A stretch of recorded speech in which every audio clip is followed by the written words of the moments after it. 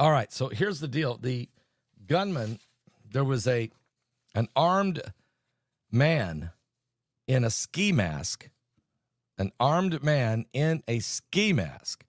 Uh, unbelievable here. Okay, and don't forget to get your tickets for the Aliens Among Us. That's for sure. Don't miss out on this webinar.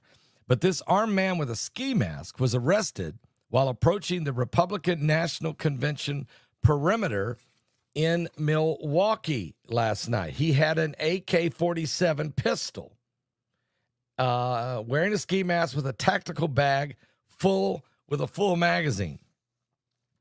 According to Fox News Flash top headlines, a man armed with an AK 47 pistol wearing a ski mask was arrested uh, just blocks from the Republican National Convention that's being held in Milwaukee, Wisconsin, according to federal law enforcement officials.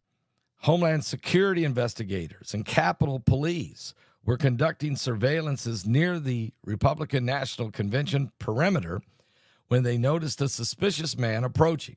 He was wearing a ski mask, carrying a tactical bag, according to Fox News. They have confirmed this. Inside the bag, police found a gun and a full magazine. His intentions are still unclear.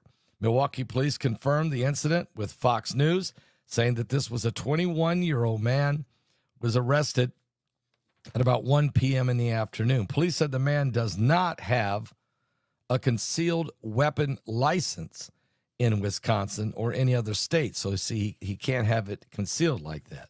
Charges are pending review by, of course, the Milwaukee County District's attorney.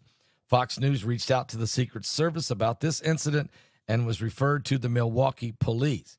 Fox News also reached out to the Homeland Security investigators and investigations and the Department of Homeland Security, but they have not heard back from them. This is not the only disturbing security concern to take place because another man uh, yesterday was shot and killed by police two miles from the forum.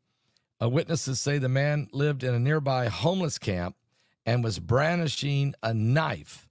Uh, and we don't know what all he was shouting and saying, but he was shot.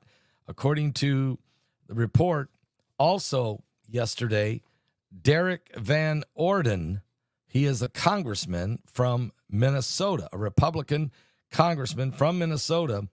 He was assaulted by a protester uh, that was said they was a member of Code Pink assaulted him while he was waiting in line to enter the venue at the convention center.